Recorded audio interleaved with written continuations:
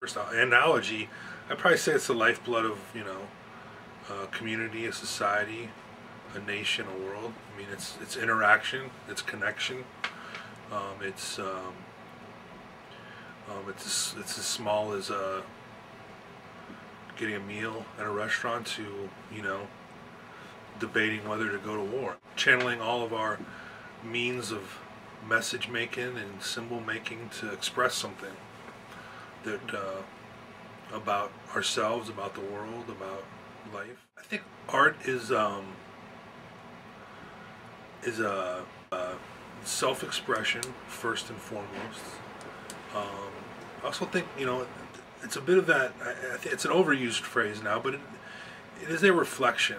I think of someone interacting with the world, someone experiencing something, pain, emotion, you know, some emotion. I would think most likely, and uh, uh, or, or, tackling a, a, complicated question or a simple question, and mm-hmm. and uh, reflecting on that inward, and then producing something outward, both for the artists themselves, but I think not necessarily all artists, but then there is some sharing going on, and then that's where I think maybe art there's a communicative aspect. I think it always is, even though uh, I think there's always either an on-the-fly style to communication, or there are some formal rules at times. I'll give you an example. People, a lot of people are talking about uh, Barack Obama. I mean, I think his he's very artistic in his attempts to communicate. A painter, painting is communicating something to himself. Is communicating something to the world. A CEO giving a state of the yeah, state of the company address, which I, I have never seen one. I imagine would be pretty boring. there's some dynamic CEOs, but but there's still I think there's an art there.